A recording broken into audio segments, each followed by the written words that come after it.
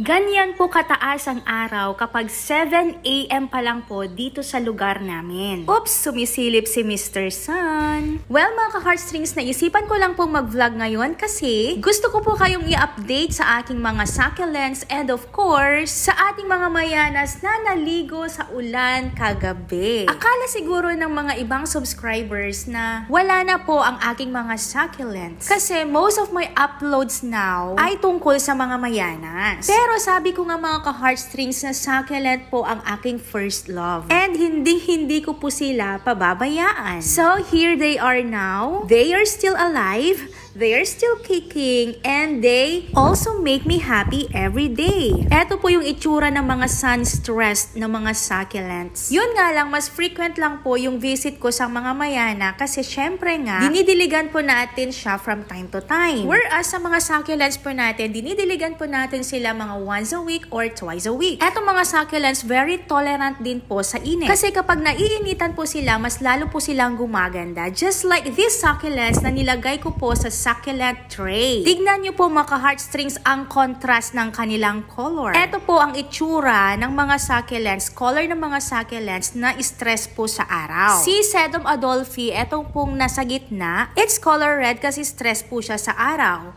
So, eto naman pong ating mga donkey's tail, burritos, burros tail, basta may tail, ayan po. Nilagay ko po sila, hinang ko po sila dito sa taas. Very precious din po sa akin etong mga hanging plants ko po. Kasi honestly, dito sa mga tails na to, dito ako first na in love. Now, eto naman po yung succulent fountain natin na still surviving.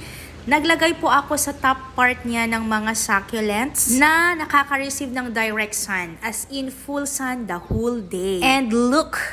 Tignan nyo po yung mga succulents na nilagay ko po dito. Tuwang-tuwa sila kasi naka-receive sila ng ulan kagabi. At the same time, stress din po sila sa araw. Kaya ganyan po ang kanilang color. What I love about succulents mga ka-heartstrings is that maliliit po sila, cute po silang tignan. And kung sa area po natin is mahirap po ang tubig, okay na okay po tayo sa mga succulents. Madami po ang hindi po nakakabuhay ng mga succulents pero I am very happy kasi isa tayo sa mga gardeners, plant lovers na medyo okay naman po tayo sa pag-aalaga ng mga succulents. And here they are po. So this is my Mendazae and my lithops. They are still surviving and sana hindi po sila magtampo kasi most of the time nasa Mayana area po tayo. Ito po yung ginawa po natin na dish garden, succulents dish garden. And they are still thriving though morning sun lang po sila nakaka-receive dito sa area na to kung saan dito ko po nilagay ang ating dish garden, succulents dish garden. We also have here jadelet succulents. Ayan po. So, asa na pong ating mga mayana? 7 o'clock in the morning and here they are. Sabi ko nga, sabi ko sa kanila, fall in line. Dapat kailangan na mag sunbathing kayo. Ayan, kailangan yung magbabad sa araw kasi mas dyan po kayo gumaganda. Sabi ko sa kanila. And sabi naman po nila, yes po, masusunod po. Ayan.